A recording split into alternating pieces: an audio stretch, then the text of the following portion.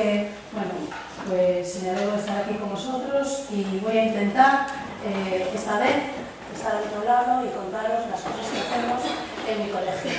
Realidad virtual, pues porque en los últimos años estamos trabajando a fondo eh, con la introducción de la realidad virtual en el y storytelling porque aprovechamos cualquier cosa para contar historias a partir de unas fotografías, a partir de un videojuego o a partir de una historia de una obra de arte, podemos contar algo. Por eso le llamamos a nuestra ponencia Realidad Virtual y Storytelling. En primer lugar, me gustaría presentar lo que es mi colegio. El centro eh, C Ponte dos Gozos es un cole no muy pequeñito. Somos unos 1.200 alumnos y 70 profes. Es un centro de educación infantil y de primaria y está ubicado pues, en esta esquina de la península, en el noroeste, eh, a 10 kilómetros de aquí, en Arteixo.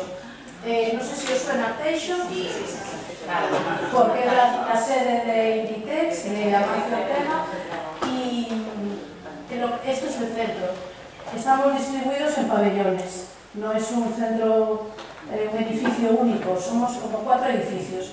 Entonces en un edificio está la zona infantil, en el otro está tercero, eh, cuarto, quinto y sexto, y en el otro pabellón tenemos a primero y segundo y tercero, con lo cual coincidimos en los claustros, los profesores, y pues hay muchos, viene gente a sustituir, y a veces ni nos conocemos, o nos, o nos conocemos visualmente, pero no, no hablamos, somos muchos. Eh, mi centro, de, desde hace unos años, eh, hubo un proyecto que se llamó Proyecto Ponte Rozos. Es un plan TIC, un, un, proyecto TIC, denominado Proyecto Ponte dos Rozos. Ese proyecto Ponte dos Rozos eh, comenzó en el año 2001 y se terminó en el 2011. Era una unión de capital público y de capital privado. capital privado porque estaba la Fundación Amancio Ortega que nos respaldaba. De hecho, cuando vamos por ahí a algún sitio a contar alguna cosa, ya están ahí estos, estos son los de Amancio.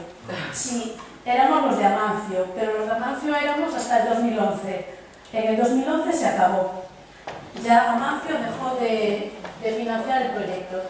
Y entonces, a partir del, del 2011, lo que hacemos es que nuestro Concello, el Concello de Arteixo, sí que pone al año una cantidad de dinero para eh, la implantación de las tecnologías. El proyecto Ponte dos Pozos sigue, ahora se llama Arteixo Innovación y hay más colegios del, del Ayuntamiento, del Concello, implicados y a cada, a cada colegio el Ayuntamiento le pone una cantidad de dinero, tanto para comprar tecnología como para... Nosotros tenemos un técnico en el, en el centro y tenemos un coordinador TIC a horario completo, no, no da clase.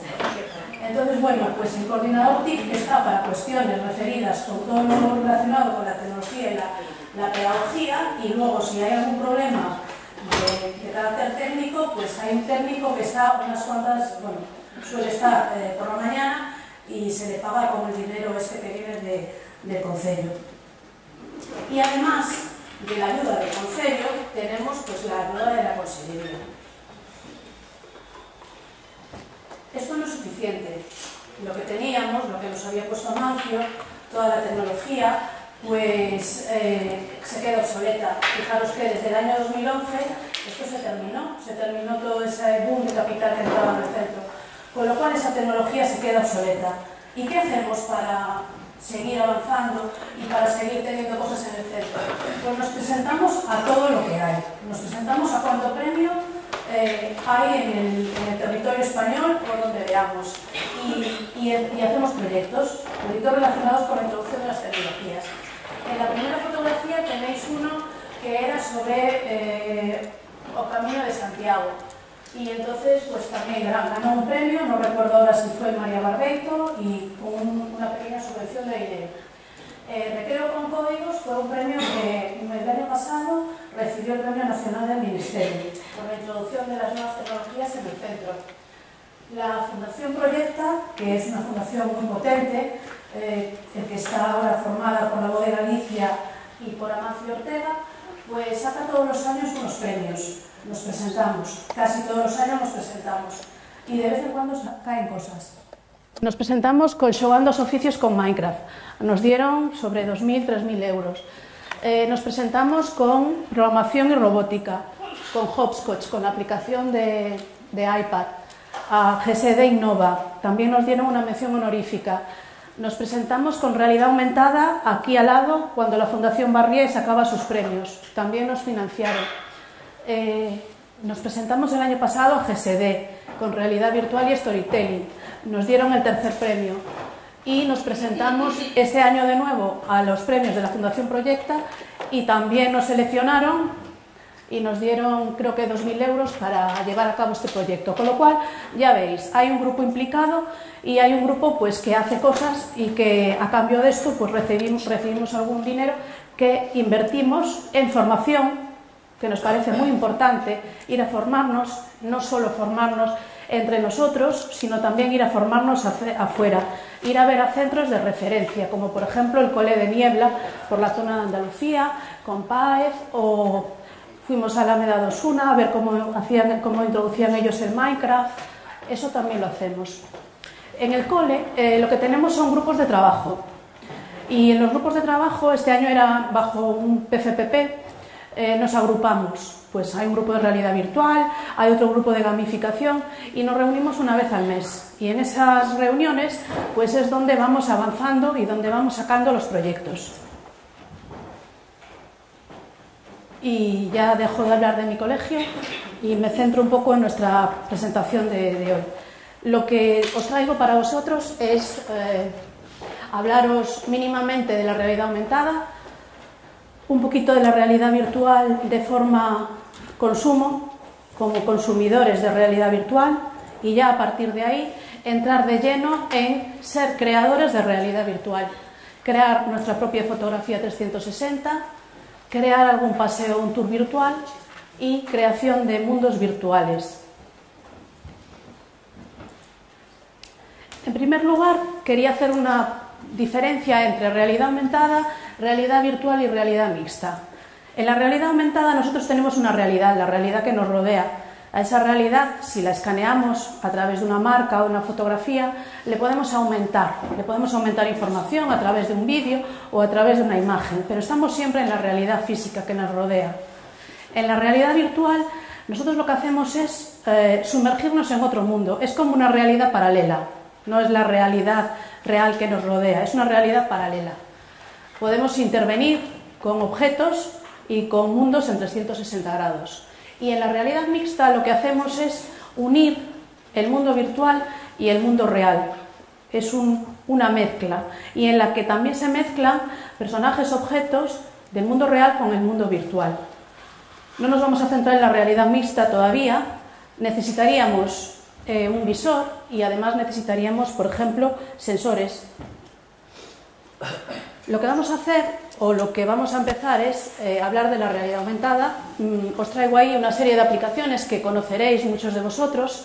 Em, aquí solamente quería destacar eh, Metaverse que está teniendo un gran desarrollo últimamente y además tiene muchos vídeos que podéis ver, eh, muchos tutoriales. La pena es que la mayoría de ellos están en inglés, pero es una app muy recomendable. Después Chromeville y Quiver las conoceréis. Me gusta Chromeville porque es de Zaragoza. Son unos chicos de Zaragoza que empezaron eh, hace unos años. Eh, por eso pues también la recomiendo porque es nuestra, es de aquí. Y, os traigo, por si alguien quiere probar, seguro que alguno quiere probar, la de T-shirt. Es una camiseta que si nos la ponemos y la escaneamos con una aplicación que nos descargamos para el iPad o para el móvil, pues lo que vamos a ver es eh, el sistema lo que vamos a ver es el sistema circulatorio o el sistema respiratorio. La camiseta se compra por internet, a los niños les encanta. He comprado una talla grande para que me sirva a mí, para que sirva a los niños, así que la tenemos aquí, luego si queréis la probamos. Tengo la descargada en el iPad, la probáis, se escanea y lo que vais a ver pues son cómo funciona el sistema respiratorio, el sistema circulatorio. Y el problema, que está en inglés, pero bueno, eh, se entiende, tiene etiquetas con los nombres y se entiende bastante bien. Si alguien quiere probarla o si la quiere probar alguien ahora, pues ven.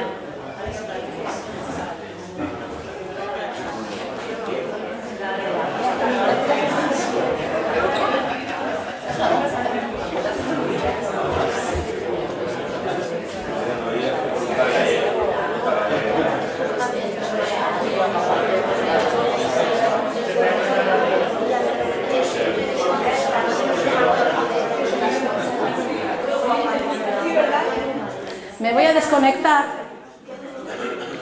yo creo sobre unas 20, 25, 20, 25 euros. La app La es gratis.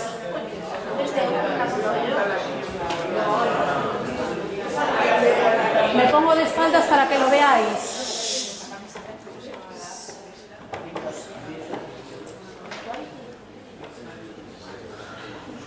Uy.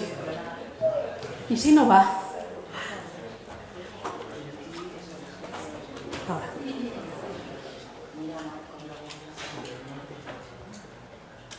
Escaneamos y veis cómo aparece el sistema. Le podemos hacer una fotografía para que ella se la guarde. La podemos compartir. La voy a guardar y luego me das tu correo y te la mando. Vale. Vale. Entonces, activando las diferentes etiquetas, podríamos ver el sistema respiratorio, podríamos ver más por dentro cómo sería el sistema respiratorio.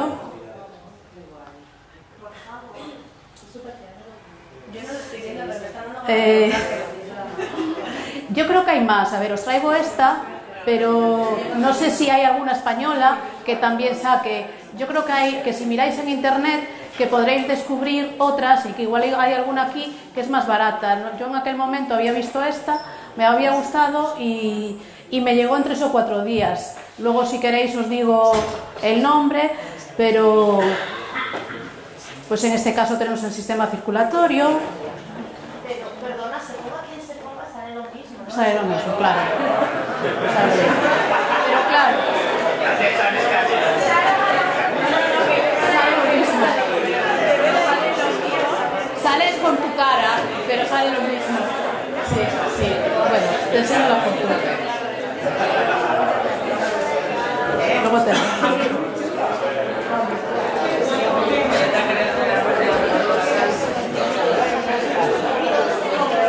En internet. La página te la digo. Luego.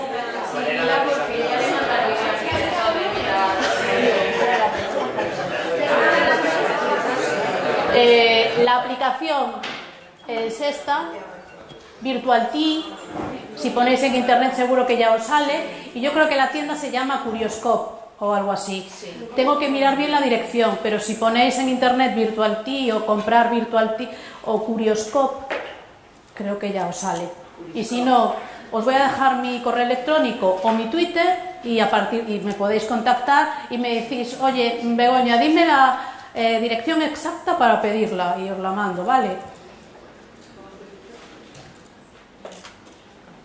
Bueno, seguimos adelante y empezamos ya de lleno, dejamos la realidad aumentada, eh, empezamos con la realidad virtual.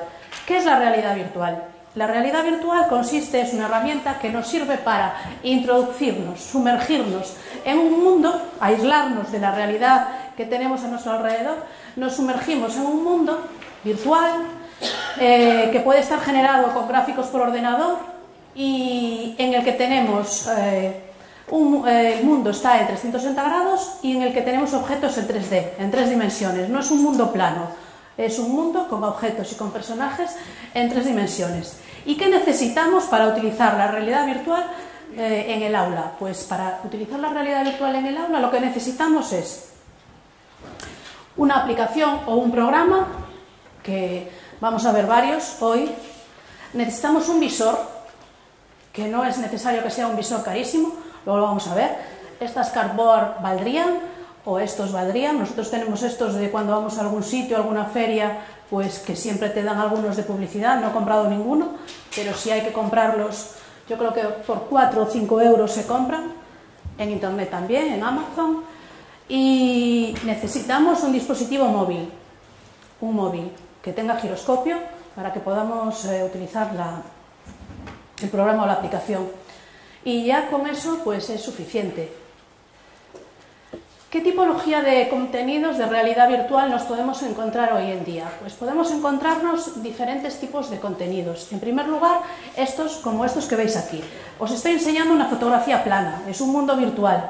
Eh, esto estaría en 360 grados, pero eh, mi presentación, slides o PowerPoint no me permite incrustar una imagen en 360 grados. Entonces lo vais a ver aquí plano.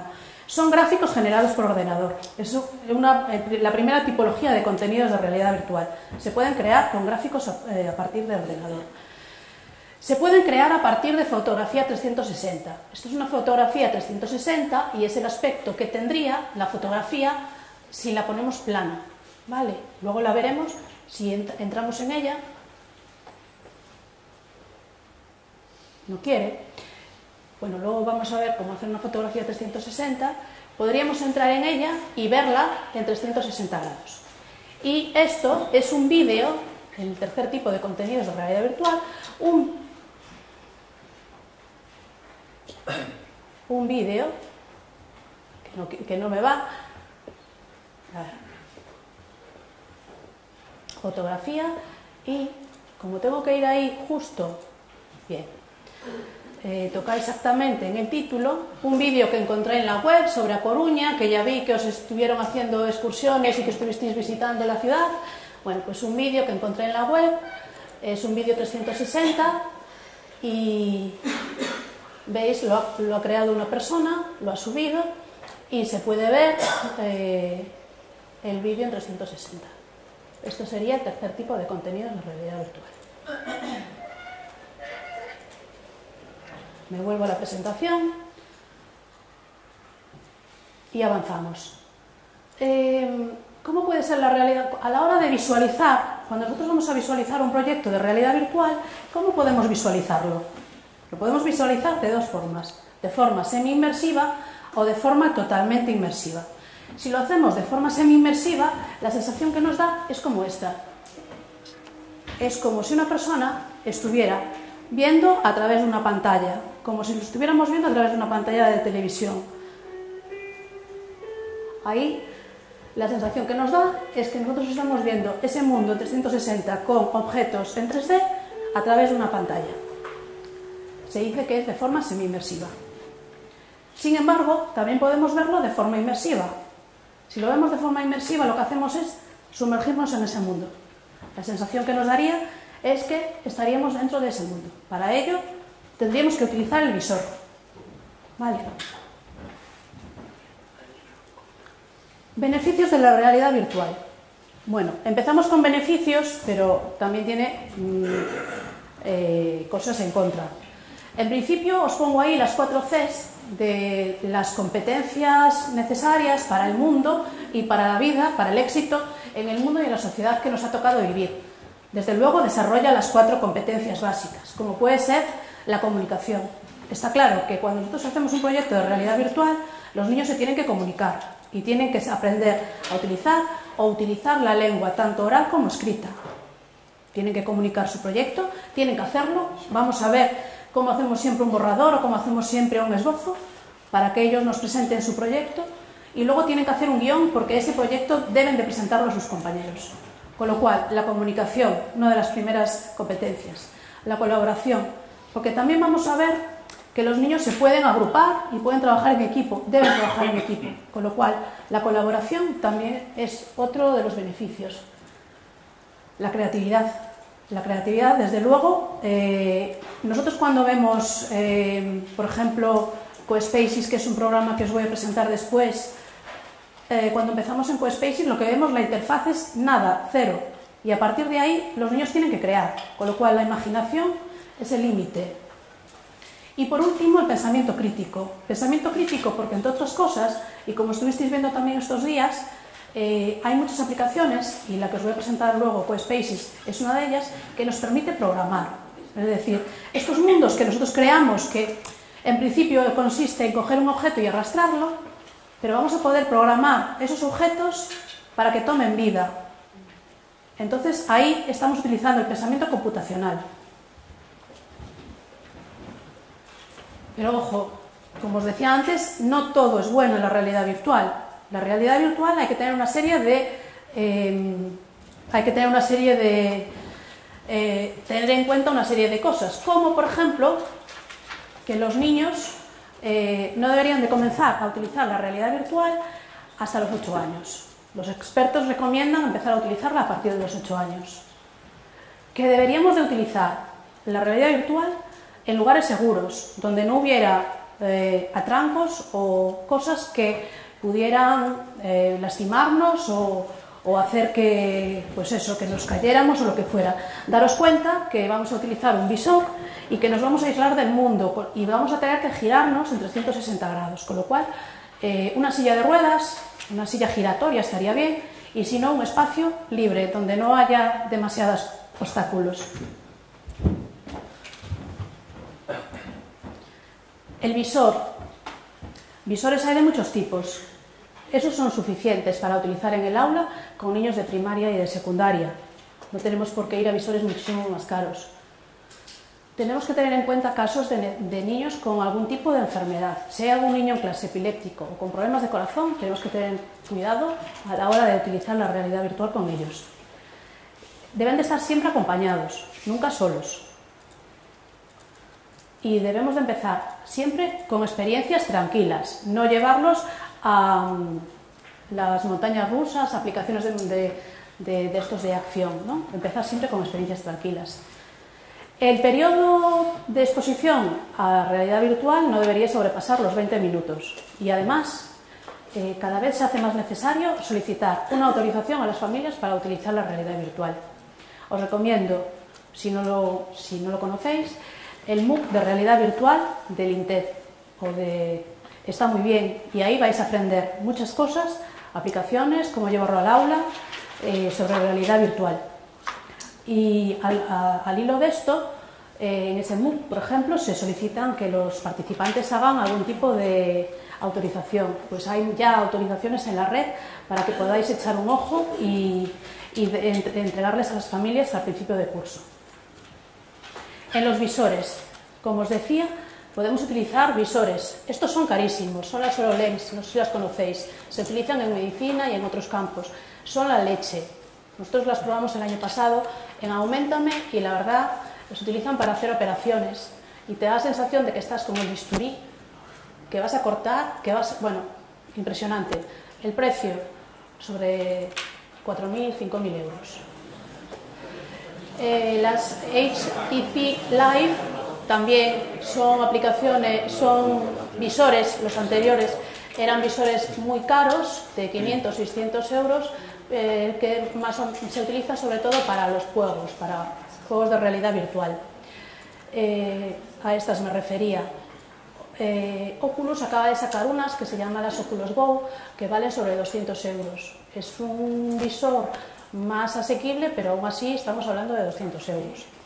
Estos que veis aquí eh, cuestan en la red pues son unos 15 euros o igual ya los hay por menos, a partir de 5. Y estos son las Carboa, que como os dije antes, mm, por 4 o 5 euros las tenéis. Incluso eh, hay mucha información en la red por si queréis hacerlo vosotros, do it yourself. Podéis descargaros las plantillas, los lentes se encargan y podéis construir vosotras vuestro, vosotros vuestros propios visores. Eh, os traigo de modo informativo una aplicación, una, una fotografía. Eh, es de unos, eh, me cogéis, no sé si es inglés, americano. Es una tabla periódica de las aplicaciones de realidad virtual solo para iOS.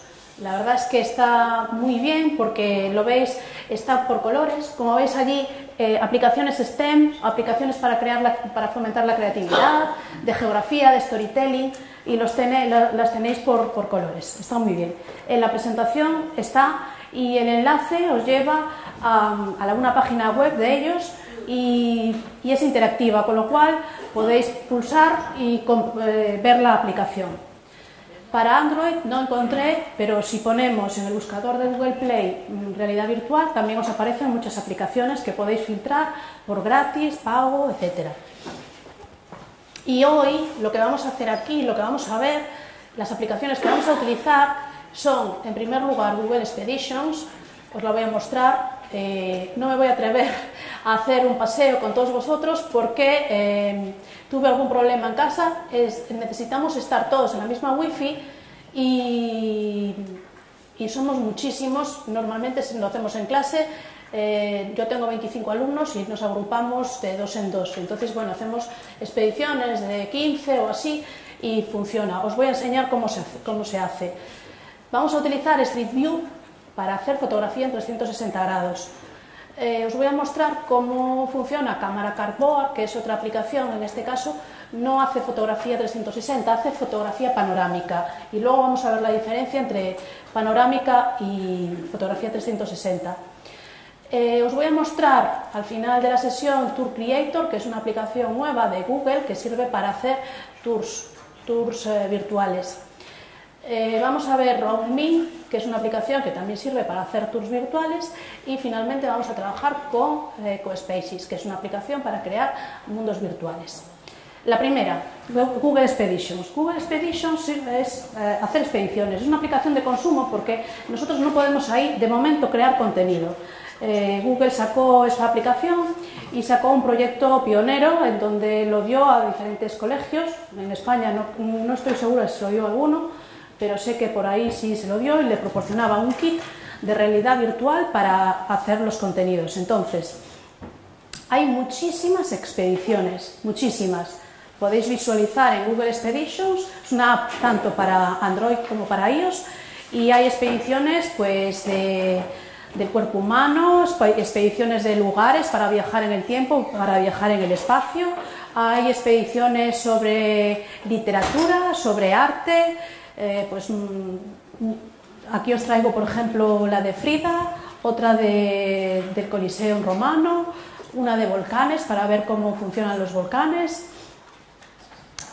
Eh, lo que nosotros vemos cuando utilizamos Google Expeditions, nos descargamos, tenemos que descargarnos la expedición que queramos visualizar, en este caso he descargado esta del sistema respiratorio, y, tenemos una serie, Google, nos da una serie de información. La información está en inglés, pero cada vez empieza a haber más eh, expediciones en español. Luego os voy a enseñar alguna en español. Entonces, esta es la información que tiene el profesor. Veis arriba, en la barra de arriba, eh, que hay una especie de dibujo, de, como si fuera un garabato, porque el profesor puede marcar en la aplicación algo para que los alumnos conectados en la misma wifi le sigan y vean lo que el profesor ha subrayado. Y veis allí que hay dos personitas. Eso significa que, tengo, que no tengo en este momento, bueno, esto es una captura, pero que no había ningún alumno conectado. Cuando los alumnos se conectan a vuestra expedición, pues salen allí. Se conectan cinco o seis o lo que sea. Eh, el aspecto. El no, tiene que ser porque lo, que deberíamos, lo que haríamos es que los alumnos a través de un dispositivo móvil se conectarían a tu expedición. Y ahora te explico cómo. Este es el aspecto que tendría, por ejemplo, yo puedo guiar la expedición desde mi iPad. Lo puedo guiar y, esto es lo que yo tengo en mi pantalla de mi iPad. ¿Veis ahí esas caritas? Esas caritas son los alumnos que estarían conectados. ¿Vale? A mí me aparece en mi pantalla en todo momento los alumnos conectados. Y si mantengo el dedo sobre eh, una zona de la expedición, hago que los alumnos, por les aparece una flecha en su dispositivo para que se muevan y vean, vayan hacia el lugar de la flecha, hacia el lugar que yo les quiero transmitir información, les quiero enseñar. Y lo que me decíais de cómo, llevo a cabo, cómo llevamos a cabo esto en el centro. Bueno, pues en el centro compramos hace unos años, no sé, tres años o así, 12 eh, o 15 móviles Android, normales, no sé, 100 euros, 150, algo así nos sirvieron, sin tarjeta SIM nosotros utilizamos los móviles sin tarjeta SIM, solo conectados a la Wi-Fi. Y esos móviles están en un sitio y cada vez que algún profesor quiere hacer una expedición, coge los móviles y los utiliza con los visores. Por eso os digo que utilizamos, eh, pues los ponemos en parejas y un poquito los ven unos y otro poquito los ven otros. Nos vamos apañando. Es una opción para verlo, para sumergirte, porque si lo ves a través de la pantalla no es de forma inmersiva. Para que sea de forma inmersiva tienes que utilizar un móvil y unas gafas.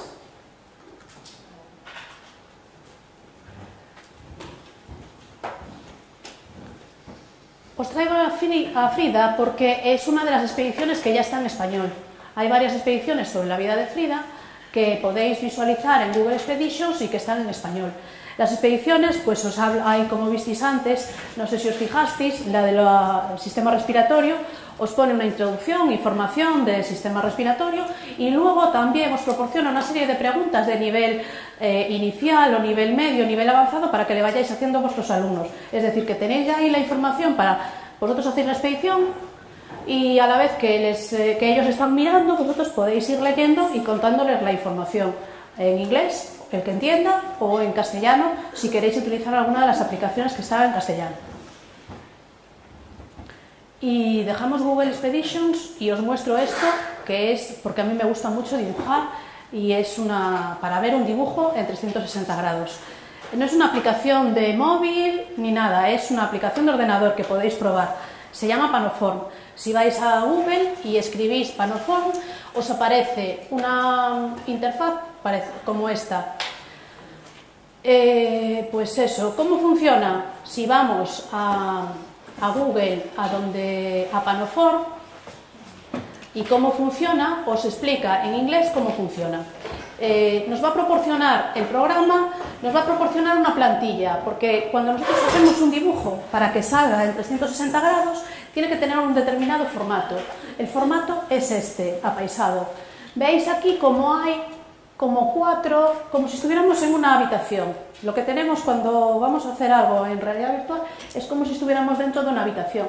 Entonces aquí tendríamos una pared, tendríamos otra pared, tendríamos otra pared y este lateral y este lateral eh, sería la última pared como si se juntara. La parte inferior y la parte superior pues sería el suelo y la parte de arriba. Entonces, nos tendríamos que descargar la plantilla, que la tenéis ahí para descargar.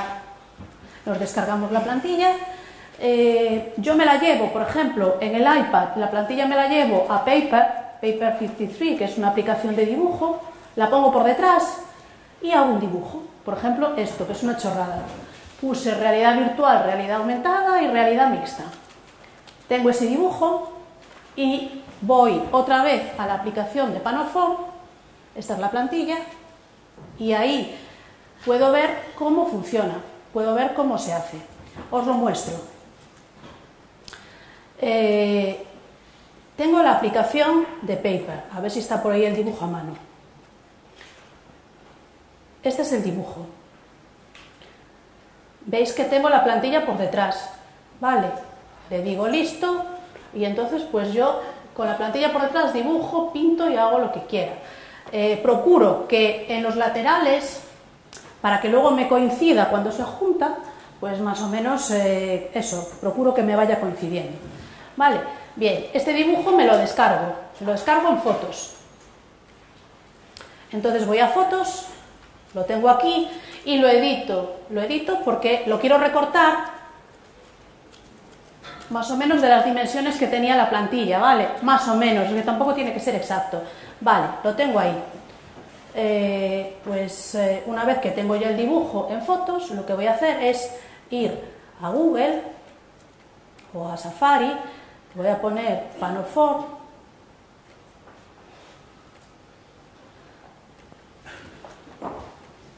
Esta no es.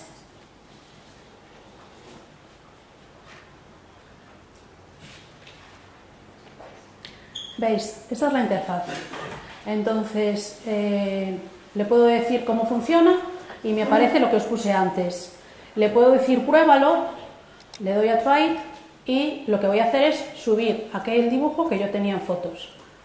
Pues voy a fototeca, voy a subir el dibujito y lo veo en 360 grados. ¿Veis? Las, uniones no salen muy bien, pero es una opción por si, queréis verlo o mostrarlo en, en clase. Vale. Se llama Panoform el programa y es online. Y pasamos ya a crear una fotografía de 360. Para crear una fotografía en 360 os traigo dos aplicaciones. Os traigo Street View o Google Cardboard. Em, si utilizamos Split View, lo que vamos a hacer es una fotografía esférica 360, es decir, que vamos a verle en la parte superior y la parte inferior. Si utilizamos eh, Google Cardboard, lo que vamos a hacer es una fotografía panorámica. ¿Qué pasa con la fotografía panorámica y qué diferencia hay con la esférica? Que la panorámica, la aplicación, el programa, cuando la subamos, la va a reconocer, pero eh, la va a sombrear. La parte inferior y la parte superior la va a sombrear, como de un gris. Con lo cual no nos va a quedar una fotografía 360 total. Nos va a quedar una fotografía que puede dar la impresión de 360, pero con una zona gris arriba y una zona abajo. La diferencia entre ellas, aparte de eso, es que Google Street View no incorpora sonido, no, graba el sonido ambiente y si tú utilizas la Google Carboa, eh, sí que mantiene el sonido de, la aplicación, de la fotografía cuando la hiciste. Por ejemplo, esta es una fotografía 360, a ver si va y os la muestro. Seguramente, no sé si os llevaron de ruta, está en el parque de Baines. Es un dolmen y eh, la hice con el móvil, como vais a ver luego. Una fotografía 360. Eh, os voy a mostrar ahora cómo hacerlo. Mm, en este caso no se ve ni los pies ni nada porque la vamos a hacer con el móvil y veis que el techo, pues el tejado, la parte de arriba, pues eh, se ve ahí ese puntito, pero aparentemente quedó bastante potable. ¿Vale? Fotografía 360. Bien. Eh, para hacer una fotografía 360 tenemos que descargarnos la aplicación Street View y a mí me gustaría que hiciéramos una fotografía 360. Entonces, si queréis y si podéis, nos descargamos la aplicación en el móvil. Es Street View. Este icono que veis aquí.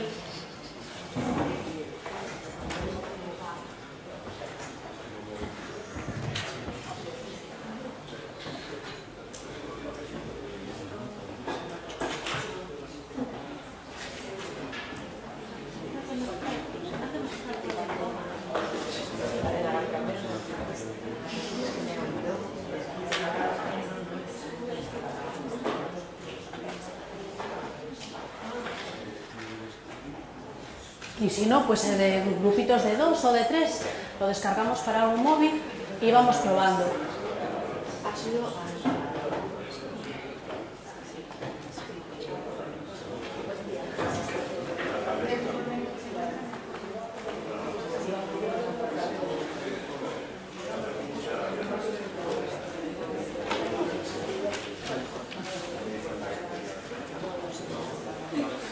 Lo podéis descargar también, el que no quiera descargarlo para el móvil, para la tablet, ¿vale?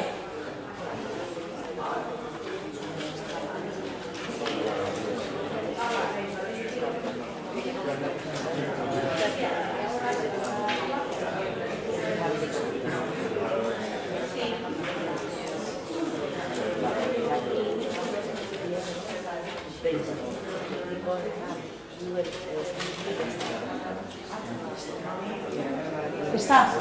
Bueno, cuando se nos descarga, voy explicando y vamos dejando que se vayan descargando los que estén. Nos van a aparecer una serie de pantallitas como estas, en las que os dan la bienvenida, en las que dice captura 360 o dice publica en Google Maps. Le damos a listo y esta es la interfaz de la aplicación Split View.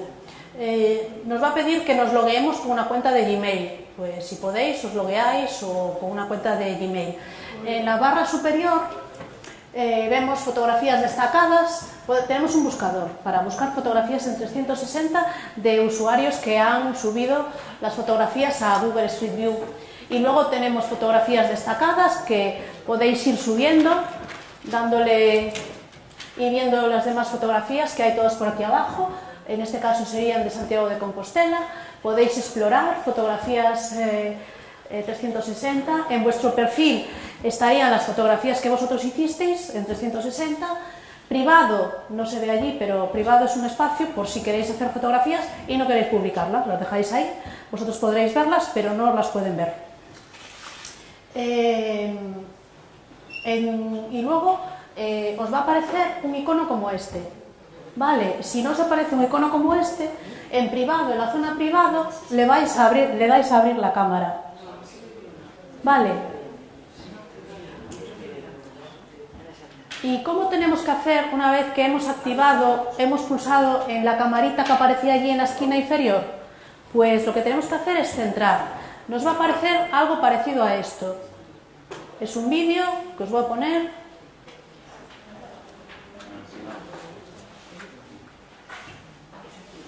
Ah, vale, lo que tenemos que intentar hacer es capturar el- la bola amarilla con el círculo blanco y ya solamente girar el, tele- el teléfono o el iPad o la tableta e ir capturando la- el circulito amarillo con nuestro dispositivo y nos vamos girando.